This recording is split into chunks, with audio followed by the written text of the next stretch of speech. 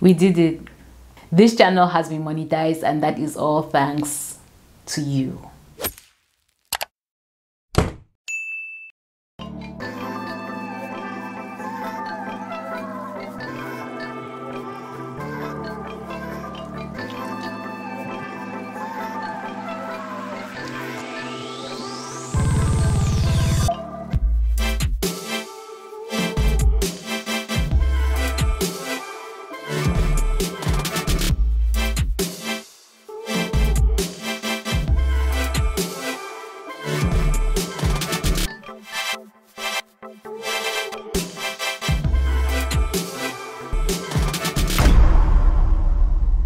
Hi people, I'm going to introduce myself quickly and jump right into the video. My name is Mutombo, I'm a Cameroonian vlogger and I've been posting videos on YouTube for about one and a half years now. This channel, Mutombo Daily, reached the threshold for monetization on the 10th of June 2020 and that just means that we were able to surpass 1000 subscribers and accumulate 4000 watch hours within one year. In this video, I just want to share my journey from 0 to 1000 subscribers and from 0 to 4000 watch hours. And I hope this video serves to encourage anybody who is on the journey to monetization. Obviously, getting to monetization is not the end of, you know, your YouTube career. You've not arrived anywhere. We still have a lot of work to do, but we just have to learn to stop and celebrate the milestones, which is what I'm trying to do right now. Let's talk a bit about my time frame. I posted the first video on this channel on the 10th of January 2019 and from that day to 10th of June 2019 which is the day this channel was eligible for monetization. I have posted about 50 videos and those videos have managed to accumulate about 53,000 views. I have learned a lot from the videos that actually did very well on this channel and that's what I'm going to be sharing with you today. I think it's also worth mentioning that I crossed the 1000 subscribers threshold way before I crossed the 4000 watch hours threshold. First things first if you decide to become a YouTuber you have to own it with your chest. You have to be ready to talk about your YouTube channel on WhatsApp, Instagram, Twitter, Snapchat, whichever platform you already have. You just have to use that to put yourself out there. Ask your friends to help promote you. Ask your family members to help promote you because that is how you get the initial 100 subscribers. It's definitely not going to be from people who don't know you. Okay, no, maybe it can be when you put up a new video you should definitely remind people that you've published a new video and that they should go and watch. I'm not saying you should spam people's inbox with links to your videos. That is actually very annoying and can easily put people off. But i'm saying on the platform you already have say your whatsapp status you should definitely leave the link to your latest video there. All right now that we have harassed every single person that we know and pushed them to our youtube channel let's talk about the videos that are actually on that channel I'm going to address the videos from two angles, okay? The first angle is you've managed to drive people to your channel. How do you keep them there? Case in point, let's look at the most viewed video on this channel, which is actually my least favorite video on this channel. And today it has 7,748 views. But when you get into the analytics of this particular video you will see that the video is about 12 minutes long but the majority of people were only able to sit through the first three minutes of it. Because the video is actually very difficult to watch especially if you're going there looking for information and the video is actually branded as an informative video. And that just brings me to my point. You have to sit down and watch your videos from the point of view of a total stranger. You can't come on your video and you're making inside jokes that only you and your sister know about. If you cannot see through your own video, then don't expect people who don't even know you to find it interesting. You really just have to critically look at your own videos and honestly ask yourself if you would enjoy this video if it was another person who had posted this. The second angle that I'm going to talk about with respect to your videos is you need a few evergreen videos yeah you need a few videos that will stay relevant over time what makes an evergreen video it needs to be searchable it needs to be useful. Please try to make it interesting. Evergreen videos comprise of things like tutorials how to's diys apartment hunting house tours. You can also look within yourself and think of things that you may have wanted to know in the past or that you may have searched for and not really gotten the answers that you wanted. I'm not going to bullshit you. I can't tell you that I know the exact formula for an evergreen video, but I know that the few evergreen videos that I have seen from others have these traits. And in my case, my evergreen video is actually the video that I hate so much. Six things about living in Douala, living in Douala, what to expect. So I knew that this video was going to get lots of clicks, but I just wish I had taken more time to research the topic and really bring people value. The next thing that can facilitate your journey to monetization, and this certainly helped me a lot, is interacting with other people's content. YouTube is just as much of a social media platform as it is a search engine. You can't just come here, post your videos and then turn and leave. You have to interact with other people's content. And I mean genuinely interact with them. I'm not talking about going and watching a video for two minutes and then commenting about what you saw in the first two minutes. Watch people's videos, especially those who are in the same niche as you or in the same geographical location as you. You will have more in common with those people than you would with all the big YouTube gurus. I'm not saying don't watch them watch them. I personally watch them and I learn a lot from them. But when it comes to having more meaningful interactions with other YouTubers, you have to find people in your sector. Please don't go and harass other YouTubers or their audiences. Don't go and bombard them with, oh, I'm new, follow me, follow me. You might actually get a few followers from that. That's no guarantee that they're actually going to watch your videos.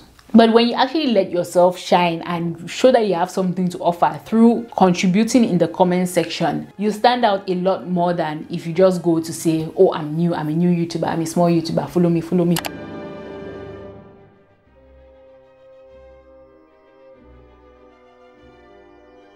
I honestly think that's a waste of your time and energy and I think a better use of that energy would be to get a nice profile picture, something that would actually prompt people to look and say, hey, who is this? Get a channel name that shows that you are a creator and not just a watcher so that when you comment, people know that, oh, this is another YouTuber.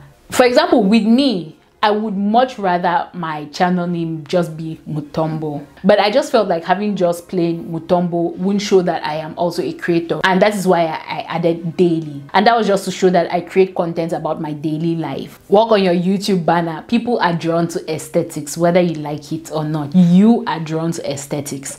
So make everything nice. Make it look nice. Have a picture that actually encourages someone to click on your channel and once they click the banner should just be there on your channel waiting for them just to tell them hey we are a cool club here. And when they scroll down on your page your thumbnails also should be bold and you know clear. I'm not saying fun it should be too fancy. No you don't even need to.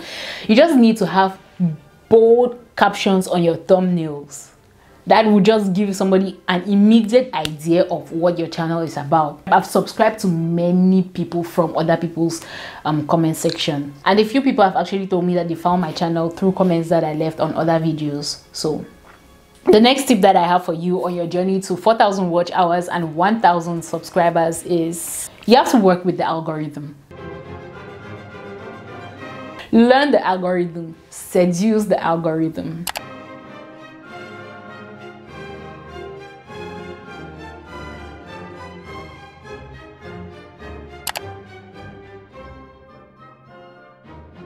So work on your titles. Don't title your videos the way you see these big YouTubers titling their videos. They already have the audience. Some of us are always going to watch them irrespective of what the video title will be because they already have that loyal following.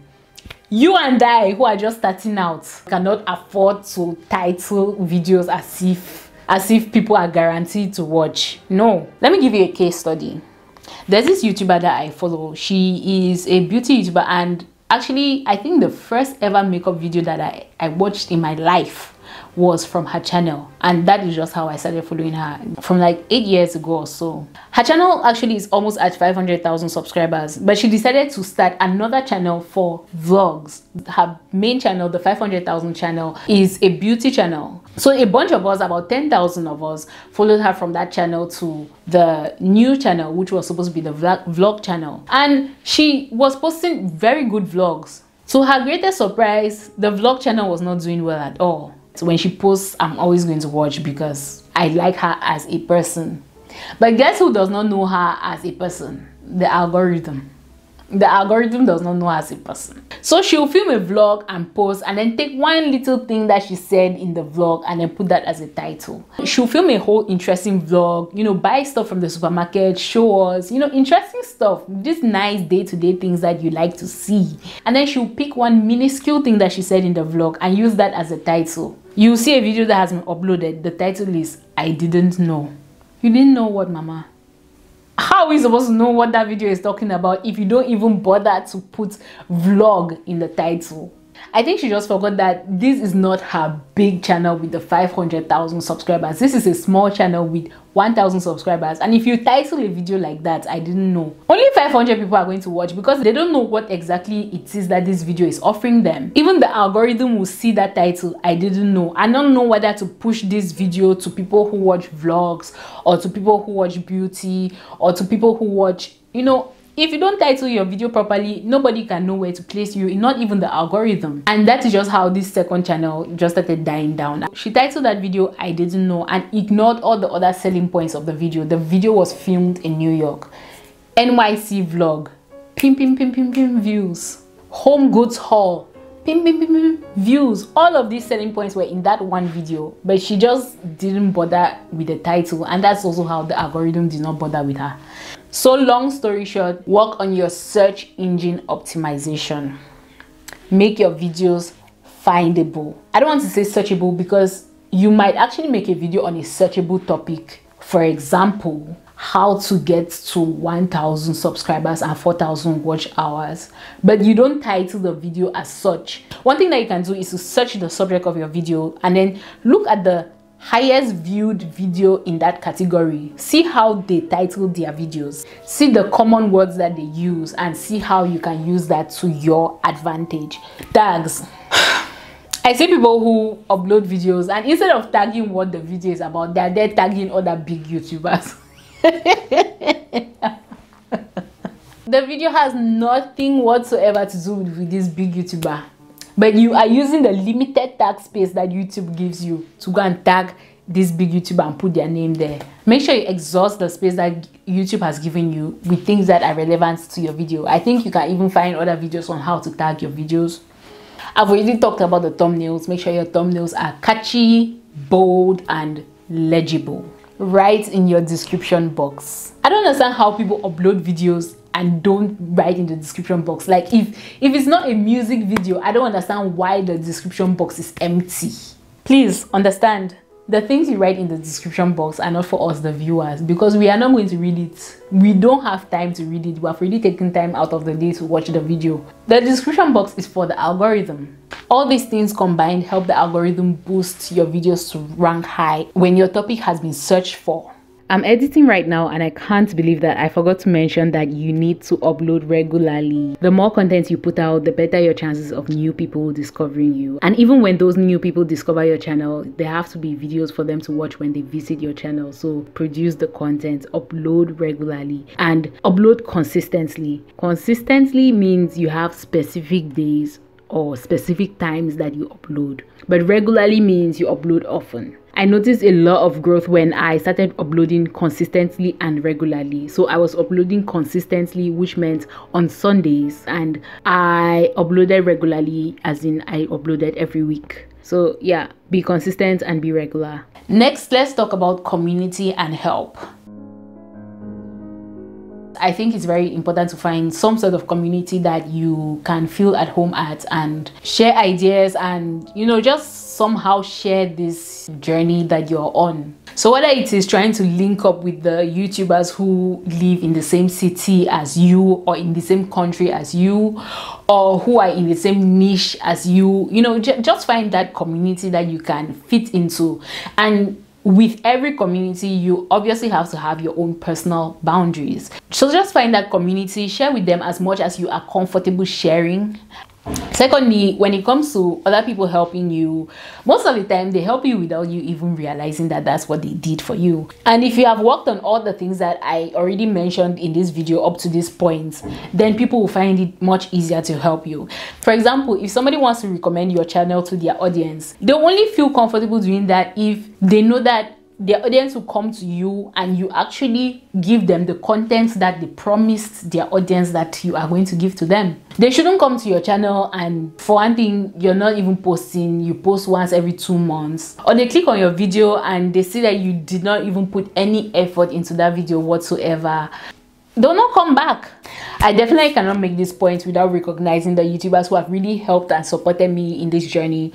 The entire collection of cameroonian youtubers have been super supportive. And of course i was able to connect with a few youtubers from our sister land. Look at the way i'm smiling when i'm talking about them a few youtubers from our sister land nigeria and they have been super super super supportive of this channel recommended my channel to their viewers and i actually have a lot of viewers and a lot of subscribers from recommendations from these youtubers so so it goes without saying that they have been very instrumental in my growth on YouTube. And remember the point that I made before, I have a genuine interaction with these YouTubers. I love and enjoy their content. I am always there when they upload and i think you will love their content too so i'll leave their links in the description box below. And i promise this time i'm going to leave the links they're in the description box below just check them out. Okay so there are other things that can help boost your channel such that you cross the monetization threshold but these are not things that i personally employed but i know that they work.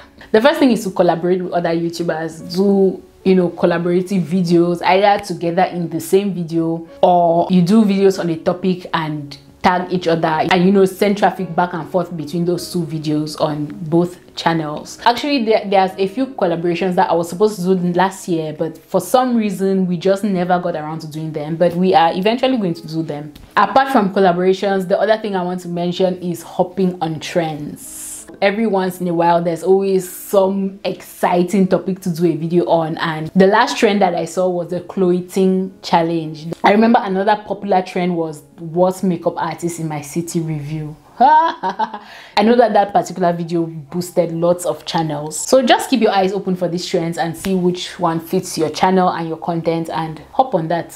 Alright, that's all I have for you today concerning my tips to getting to the monetization threshold here on YouTube. Before I end out this video, I just want to mention that before I reached the monetization threshold, I wasn't able to create an AdSense account. I tried several times to create the account, but for some reason the system wasn't letting me create the account. Very briefly, your AdSense account is basically just a way for YouTube to pay you and track your earnings if adverts are placed on your content. So once I was eligible for monetization, I immediately created my AdSense account. The AdSense account took about 12 hours to come to life. So when they tell you wait a moment, it might take a few hours they are not joking it's definitely going to take a few hours after the 12 hours the adsense account was linked to my youtube channel and my channel automatically went into review I was very surprised. My review took less than 24 hours because I know that people who wait three days, one week, a few months, you know, what can I say? God, God, God really just saw me through this whole thing. Speaking of God, one thing that I left out when I was talking about the main points, um, this is actually very shameful. I just forgot for some reason. Anyway, but I just want to let you know, I actually pray for my channel. You know, I put it in God's hands. I say, oh God, take control of this channel. Help me make the content that needs to be seen. Help me make content that fulfills me and take this channel to the places that you want it to go. And i just put the channel in god's hands and honestly i would say god has god has been faithful I hope this video was helpful for you and I really do hope it added some sort of value to your journey as a YouTuber if you are and to your day if you're not a YouTuber. With YouTube, please, please, please manage your expectations but put in the work. So uh, I wish you all the best. Take care and God bless you find a community that you feel at home with and that also respects your boundaries in anyway how you know whether or not they will respect your boundaries if you're not yet in the community I think my earrings are too loud. I'm very sorry. I'll take those, I'll take them off. The next tip that I have for you for your journey to 4,000 subscribers and 1,000 watch hours